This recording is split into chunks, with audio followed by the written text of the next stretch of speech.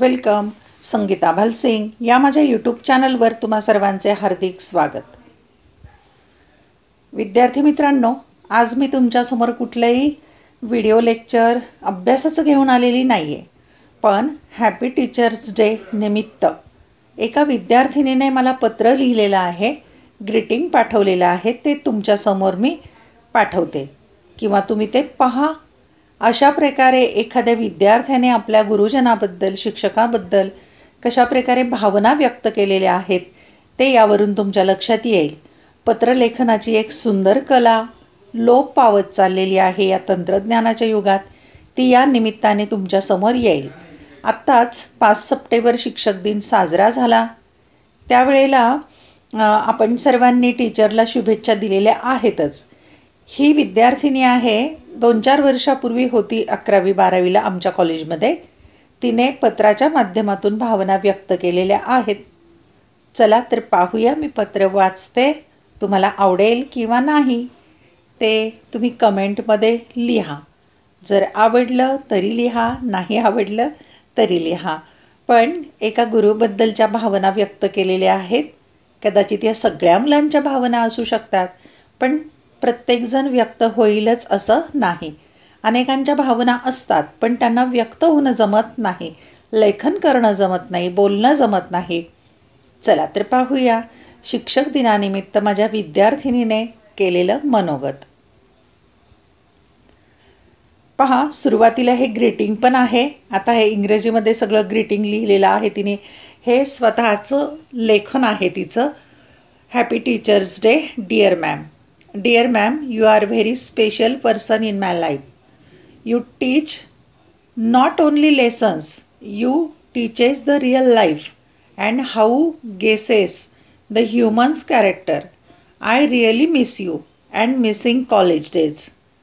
Love you so much. This is for my best teacher.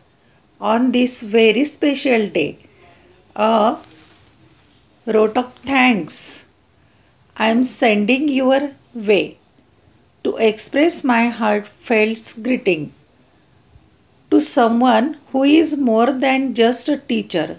You have been there in my dark days, leading me delightfully through the way. Thank you so much, dear teacher, today and forever. Having yours a teacher's is the best thing I want. आता हे इंग्रजीमध्ये तिनेच लिहिलेलं आहे आणि पुढे मराठीमध्ये पत्र पण लिहिलेलं आहे तिने. हे पोस्ट कार्ड स्वतः तयार केलेलं आहे. आणि this is for you my lovely teacher happy teachers day your student Aarti Kadam Aarti Kadam असं तिचं नाव आहे. चला ती काय लिहिते पत्रामध्ये आपल्या भावना व्यक्त करते ते आपण पाहूया. पत्राला सुंदर अशा प्रकारचं पॅकिंग पण केलेलं आहे. Teachers day. आज पाच सप्टेंबर म्हणजे शिक्षक दिन. आपल्या प्रत्येकाच्या आयुष्यात असणारी एक मौल्यवान व्यक्ती म्हणजेच शिक्षक. आपल्या जीवनाला आकार देणारा कुंभार म्हणजेच शिक्षक. असंख्य अडचणीतून मार्ग कसा काढायचा आणि यशाचे शिखर कसे सर करायचे? याबरोबरच पुस्तकी ज्ञान न शिकवता आयुष्य कसे जगायचे हे शिकवणारी एकमेव गुरु म्हणजे शिक्षक. अशाच प्रकारे माझ्या आयुष्यातील अनेक व्यक्तींपैकी एक महत्त्वाची व्यक्ती म्हणजे तुम्ही. बारावीपर्यंत कसा अभ्यास करायचा? आपला आत्मविश्वास कसा वाढवायचा? आपल्यापेक्षा कर्तृत्ववान गुणी व्यक्ती भरपूर आहेत परंतु आपणही कुणापेक्षा कमी नाही. आपणही खूप काही करू शकतो. अशी पहिली पहिली शिकवण शिकवणारी व्यक्ती म्हणजेच तुम्ही. असं म्हणतात की माणसाचे वेगळेपण हे त्याच्या विचारातून स्पष्ट होते. परंतु माझे वेगळेपण हे तुम्ही आधीच ओळखले होते. त्यावेळी समजूतदारपणा जरा कमीच होता पण तुम्ही समजून घेतलं. वाचन करायलाही एवढं मन तयार होत नव्हतं पण तुम्ही अकरावीत असताना भरपूर वाचन वगैरे कर असं समजून सांगितलं. खरं सांगू तर माझ्या वाचनाला योग्य वळणावर आणणारी व्यक्ती या फक्त तुम्हीच होता. एखाद्या मित्राप्रमाणे वागवलं तुम्ही आम्हाला. वेळोवेळी समजून घेतलं. एवढं प्रेम माया दिली. की आम्ही कॉलेजमध्ये असताना घरालाही विसरायचो. आज जरी तुम्ही दूर असल्या तरीही मनात नेहमीच असाल. आजही तुम्ही घेतलेले लेक्चर्स आठवतात. तुम्ही बोललेले शब्दांशब्द आठवतात. माहिती आहे की आजच्या तंत्रज्ञानाच्या युगात कोणीच कोणाला पत्र वगैरे लिहित नाही.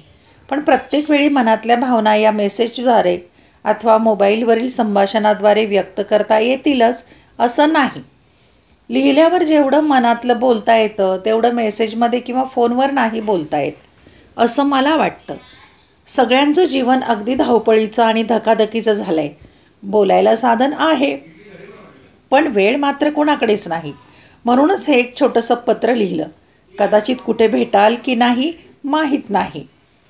पण हे पत्र नेहमी माझी आठवण करून देत राहील हे मात्र नक्की. खरं सांगायचं म्हणजे तुम्ही म्हटल्याप्रमाणे अजूनही वाचन सुरू आहे. ऑनलाईन ई बुक्स खूप वाचले आहेत. पण मुख्य म्हणजे मी लिहायला लागले. कधी वाटलं नव्हतं की मी कविता वगैरे लिहील. पण म्हणतात ना की वाचन आणि पुस्तकं माणसाचे विचार शुद्ध करतात. माझ्या बाबतीतही अगदी तसंच झालं. हिंदी मराठीमध्ये कविता थोडेफार थॉट्स आता लिहिते.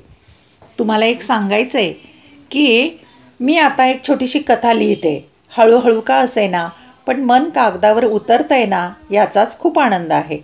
कामं प्रत्येकालाच असतात हो पण आपली आवड छंद जपायला आपणच शिकलं पाहिजे ना. कोणी दुसरं थोडंच येणार आहे? आपली आवड जपायला. कधीही काही लिहिलं की सगळ्यात आधी मी तुम्हाला पाठवतेच. कारण ज्या व्यक्तीमुळे आपण लिहायला शिकतो तिला पाठवण्याचा एक आनंद वेगळाच असतो. तुम्हाला कधी फोन करत नाही पण तुमच्या एका छोट्याशा रिप्लायमुळे मन सुखावतं. एवढं मात्र नक्की. खूप विद्यार्थी तुम्हाला भेटतील पण एक मी तुमची विद्यार्थिनी म्हणून आठवण ठेवा. शिक्षक दिनाच्या निमित्त एक छोटंसं गिफ्ट स्वीकार करा. थँक्यू अतिशय सुंदर असं पत्र आरतीने लिहिलेलं आहे तिला पण मी थँक्यू म्हणते आणि लव यू म्हणते. आणखी एक ग्रीटिंग मिळालं होतं. हे बर्फे प्रीती नावाच्या विद्यार्थिनीने ग्रीटिंग स्वतः बनवलेलं आहे. सुंदरशी डिझाईन आणि इथे पण संदेश दिलेला आहे तिने. खूप छान बर्फे प्रीतीने लिहिलं आहे my favourite teacher name is Sadare ma'am माझं माहेरचं आडनाव आहे ते.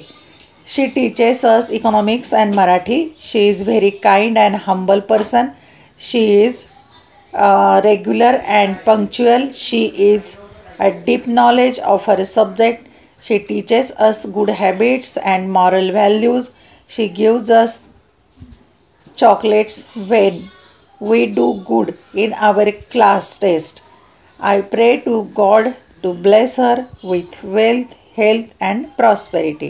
Preeti Barfe अतिशय सुंदर लिहिलेलं आहे ग्रीटिंग थँक्यू लव यू